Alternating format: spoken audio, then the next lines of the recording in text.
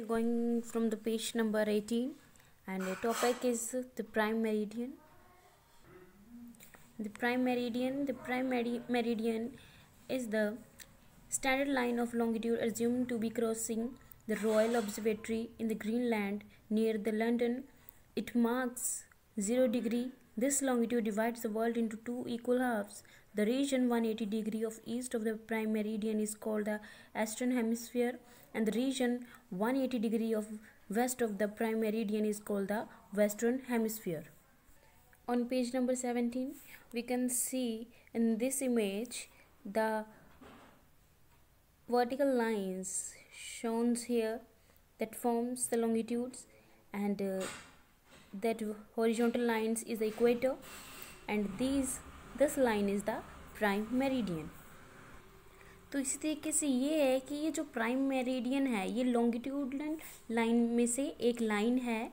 जो royal observatory जो एक जगह है ग्रीनलैंड के अंदर जो उसके थ्रू उस वहाँ से पास करती है। ये जो जगह है, ये लंदन में है,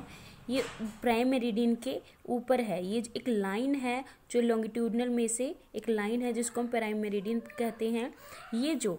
ये जो लाइन है, ये ज़ीरो डिग्री पे मार्क की जाती है। और ये जो लॉन्गिट्यूडनल की जो प्राइम मेरिडियन है, ये हमारे पूरे वर्ल्ड को टू इक्वल पार्ट्स में डिवाइड कर देती है,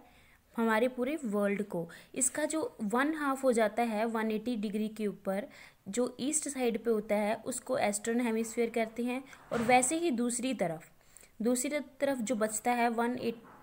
one eighty degree west side पे उसको बोलते हैं western hemisphere in interestingly The longitudes 180 degree east and the 180 degree west are the same. They form a single line called international date line ये दोनों के दोनों जो ये लाइंस हैं ईस्ट और वेस्ट में 180 डिग्री सेम लाइंस हैं. ये दोनों के दोनों जो लाइंस हैं, इनको बोला जाता है इंटरनेशनल डेट लाइन क्योंकि ये दोनों के दोनों लाइन सेम हैं. Next topic lines of latitude Uh, we take the midpoint of the globe from the north pole to the south pole and draw a horizontal line uh, around the globe at this point. The line divides the globe into two equal halves. this line is called equator. The upper half of the equator is called the northern hemisphere and the lower half of the equator is called the southern hemisphere. तो ये जो एक एक इस अर्थ के ऊपर एक mid line में एक हॉरिजॉन्टल लाइन होती है जो पास करती है अर्थ के सेंटर में से, जो इसको टू इक्वल हाफ्स में डिवाइड कर देती है। इसको, उसको बोलते हैं हम इक्वेटर जैसे कि ये सामने वाली पिक्चर में हमें शो किया हुआ है, ये जो पिक्चर है, इसका नॉर्थ पोल यहाँ पे है, इसका साउथ पोल यहाँ पे है। यानी कि ये थोड़ा सा हमें यहाँ पे ये पिक्चर है, बिल्कुल स्ट्रेट नहीं दिखाई शो की गई है। ये थोड़ी सी टेढ़ी है, जिसमें हमारा जो नॉर्थ ईस्ट तरफ़ जा रहा है साउथ ईस्ट तरफ़। नहीं तो हमारा जो साइड्स होती हैं, जो हमारी ये जो डायरेक्शंस होती हैं नॉर्थ ईस्ट तरफ़, ऊपर होता है स्ट्रेट लाइन की यहाँ पे साउथ यहाँ पे वेस्ट और यहाँ पे ईस्ट तो ये थोड़ा सा इससे डिफरेंट है। बाकी वही है कि इसमें से देखे देखें, यहीं पे देखा जाए तो जो सेंटर में से एक लाइन पास कर रही है यहाँ पे से वो जो अर्थ को दोनों की, दोनों इक्वल हाफ्स में डिवाइड करती है मिड पॉइंट के अंदर और इसके दो हाफ़ बन जाते हैं एक जो रह जाता है नॉर्थ की साइड पे, एक रह जाता है साउथ की साइड पे तो ऊपर वाले को नो जो नॉर्थ की तरफ़ रह जाता है, उसको हम बोलते हैं नॉर्थ हेमिसफियर और जो साउथ की तरफ़ रह जाता है, उसको बोलते हैं हम south hemisphere Now we can draw parallel equidistance line at the distance of the 1 degree towards the north and the south from the equator. These lines are called the lines of the latitude. अब इसी तरीके से, अब ये जो equator यहाँ पे पास कर रही है हमारे पास में अब इसी ये जो है ज़ीरो डिग्री के ऊपर है। अब वहाँ यहीं से हम दोनों तरफ़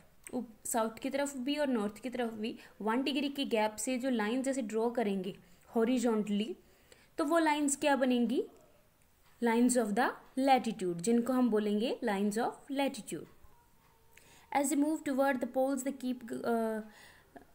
getting shorter and shorter. They would be uh, 90 lines at the top of the equator and the 90 line uh, to the bottom of the equator तो जिस तरीके से हम ऊपर इक्वेटर के ऊपर नॉर्थ की साइड में ऐसे ये जो लाइंस ड्रॉ करते जाएँगे, जैसे जैसे हम ड्रॉ करते जाएँगे लाइंस हैं शॉर्ट होती जाएँगी। जैसे कि हाँ हमारा जो अर्थ है, मान, मानिए यहाँ पे ये जो अर्थ है, इसके सेंटर में से हम कोई भी लाइन ड्रॉ कर रहे हैं तो जब इस तरीके से हम करते जाएँगे तो ये लाइंस जो हैं, इस लाइन से छोटी होती जाएँगी, यानी कि शॉर्टर होती जाएँगी और लास्ट में एक पॉइंट ही रह जाएगा। इस तरीके से नीचे की साइड पे साउथ की साइड पे भी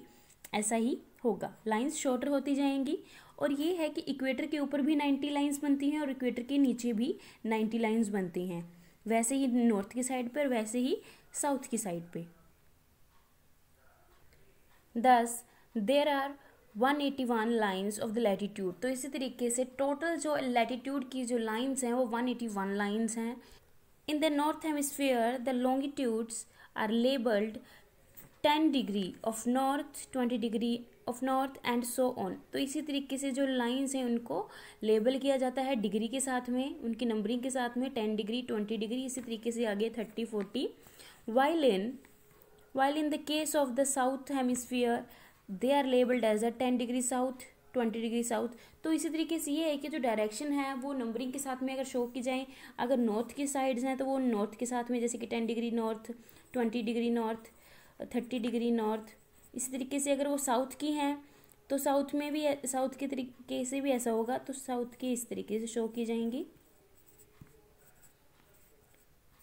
इस तरीके से। ऐसे यहाँ पे साउथ का आएगा। The equator is marked as the zero degree of the latitude it is the longest line of the latitude it is also called a great circle north pole is represent as a ninety degree north and south pole is represent is by the ninety degree south यानी कि S north को N से denote किया जाता है south को S से। ये जो इक्वेटर है, ये जो इक्वेटर है जो अर्थ के सेंटर में से पास करता है, हमने भी बताया कि ये जो ज़ीरो डिग्री के ऊपर होता है, ये बिल्कुल ज़ीरो डिग्री के ऊपर होता है। और जो लैटिट्यूड की जो लाइन है, सबसे बड़ी लाइन होती है, सबसे लॉन्गेस्ट लाइन है यहाँ पे, जो अर्थ को टू पार्ट्स में डिवाइड करती है, और इसको ग्रेट सर्कल भी कहा जाता है। Next now that we have drawn the vertical and the horizontal lines known as the longitude and the latitude respectively uh, we have a network of the intersecting lines these points where the intersect each other provides the location coordinates which help us to locating a place on the globe तो अब हमने ये देखा कि जो अर्थ के ऊपर कुछ हॉरिजॉन्टल लाइंस हैं कुछ वर्टिकल्स लाइंस हैं तो ये जो लाइंस हैं इनको हम बोलते हैं लॉन्गिट्यूडनल लाइंस और वर्टिकल लाइंस जो ये जो लॉन्गिट्यूड लाइंस होती हैं, वो हॉरिजॉन्टली होती हैं और जो लैटिट्यूड होती हैं, वो वर्टिकली लाइंस होती हैं। और यहाँ पे जो ये है कि सारी की सारी जो इंटरसेक्शन हो जाती है लाइंस की, अभी काफ़ी सारी लाइंस जब यहाँ पे मीट हो जाती हैं लॉन्गिट्यूडनल हो गई प्राइम मेरिडियन हो गया इक्वेटर हो गया लैटिट्यूड लाइंस हो गई तो ये सभी जो लाइन है एक दूसरे को कट करते हैं, यानी कि इंटरसेक्ट करती हैं। जब वो वहाँ पे, जहाँ पर भी इंटरसेक्ट करती हैं, वहाँ पर एक लोकेशन कोऑर्डिनेट बन जाता है, जो हमें किसी भी जगह का पता करने के लिए किसी भी पोजीशन को लोकेट करने में हेल्प करता है और ये सारा का सारा ग्लोब के ऊपर हमें दिखाई देता है। ग्लोब के ऊपर बहुत सारी लाइंस बनी होती हैं जो हमें किसी भी प्लेस को लोकेट करने में हेल्प करती हैं।